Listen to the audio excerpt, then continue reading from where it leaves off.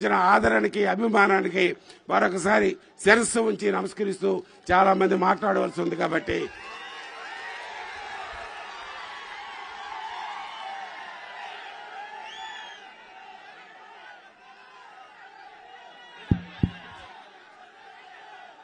బలగా ప్రవీణ్ గారు సభను ఉద్దేశించి మాట్లాడతారు.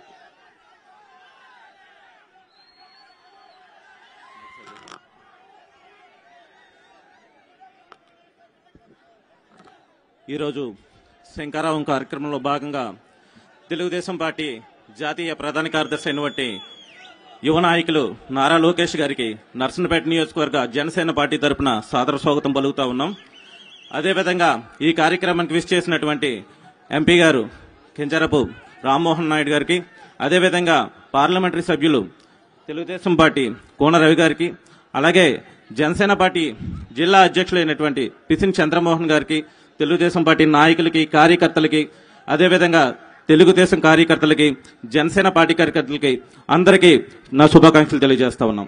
ఈ రోజు నియోజకవర్గంలో చూస్తే మేజర్ పంచాయతీలో చెరువులు ఆక్రమించుకొని ఈరోజు మేము అద్భుతాలు చేస్తున్నామని ఈ శాసనసభ్యులు చెప్తా ఉన్నారు.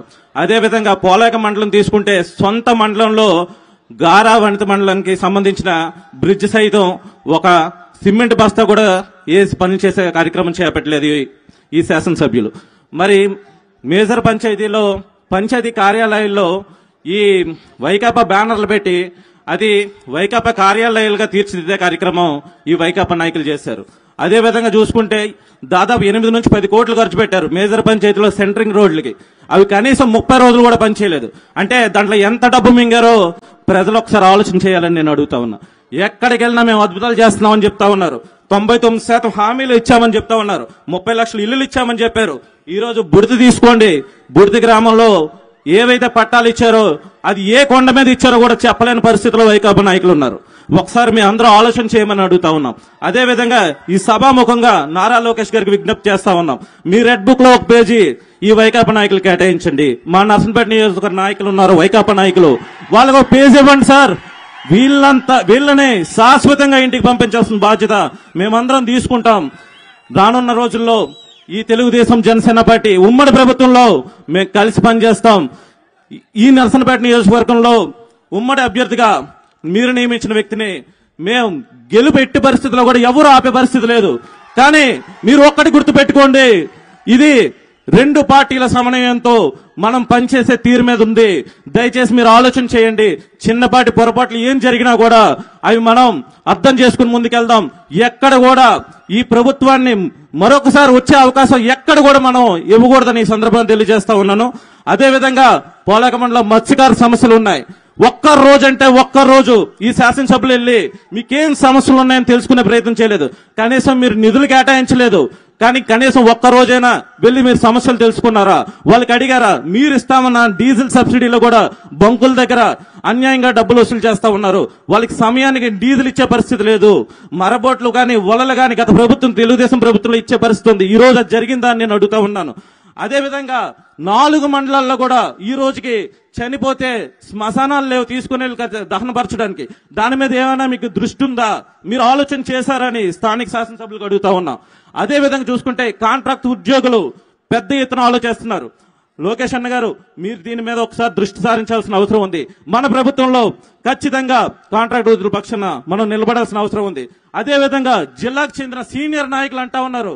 అన్ని రాష్ట్రాలు ఇరవై ఎనిమిది రాష్ట్రాల్లో ధరలు పెరిగాయి. ఇక్కడేంటి కొత్తగా పెరిగితే తప్పేంటని అని నేను అతనికి అడుగుతా ఉన్నా ఇదే సభాముఖంగా. ఇరవై ఎనిమిది రాష్ట్రాల్లో ఇలాంటి దాష్టికాలు ఉన్నాయా? ఇంత దౌర్జన్యం ఉందా? మరి మీరు దానికోసం ఎందుకు మాట్లాడట్లేదు? అదొకసారి ఆలోచన చేయమని అడుగుతా ఉన్నా. ప్రజలందరికీ విజ్ఞప్తి చేస్తా ఉన్నా. మరొక అవకాశం ఎట్టి పరిస్థితుల్లో కూడా ఈ వైకాపా ప్రభుత్వానికి ఇవ్వద్దు. ఖచ్చితంగా తెలుగుదేశం జనసేన పార్టీ ప్రభుత్వాన్ని స్థాపిద్దాం. అందరం కలిసి ఈ రాష్ట్రాన్ని అభివృద్ధి చేసుకుందామని తెలియజేసుకుంటూ ఈ అవకాశం ఇచ్చిన పెద్దలందరికీ కూడా పేరు పేరున ధన్యవాదాలు తెలియజేసుకు సెలవు తీసుకుంటున్నాం. జై జనసేన జై తెలుగుదేశం. క్షమించాలి. రాబోయేది తెలుగుదేశం జనసేన ఉమ్మడి ప్రభుత్వం. చెప్పడం మర్చిపోయాను. క్షమించాలి. పవన్ కళ్యాణ్ గారు మన చంద్రబాబు నాయుడు గారు ఏదైతే మేనిఫెస్టోలో పెడుతున్నారో అది అమలు చేయించడానికి ప్రజల మధ్యకి తీసుకెళ్ళడానికి మన యువ నాయకులు వచ్చారు. అలాగే రెండు విషయాలు కలిపి మర్చిపోయాను. మాకు కోస్టల్ ఉంది ఫిషర్మెన్స్ ఉన్నారు.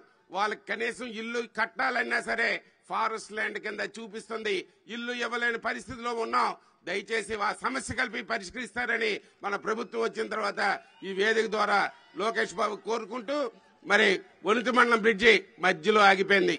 అది పూర్తి చేయాలి. బొంతు ఎత్తుపోతల పథకం మధ్యలో ఆగిపోయింది. అది పూర్తి చేయాలి. మరి మన మొక్కలింగం పుణ్యక్షేత్రాన్ని అభివృద్ధి చేయడానికి ఇరవై కోట్లు ఇచ్చి మాడా వీధుల పనులు ప్రారంభించి అది మధ్యలో ఆగిపోయింది. అది పూర్తి చేయాలి. శ్రీమొక్కలింగ ఎత్తుపోతల పథకాన్ని పూర్తి చేయాలి. ఏవైతే ఈ నర్సనపేటలో మనం